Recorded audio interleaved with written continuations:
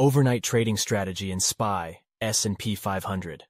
In this video, we show you how you can make money overnight by trading SPY, the ETF that tracks S&P 500.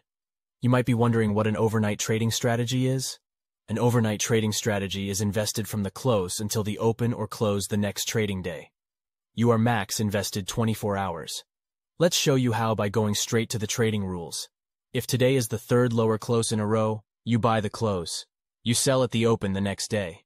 Since 1993 until today, the strategy made 643 trades with an average gain of 0.13% per trade.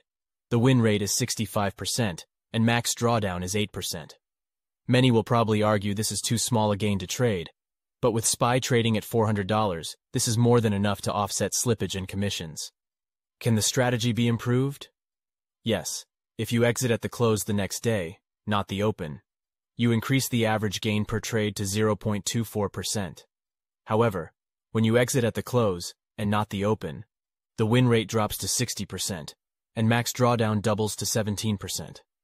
Overnight trading strategies like this are very tradable.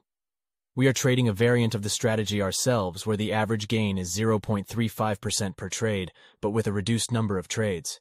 As always, if you are interested in code or more details about this strategy, please visit our website, you can also find plenty of similar strategies there. Please consider giving this video a like and subscribe if you fancy us doing more of these videos. Thanks for listening.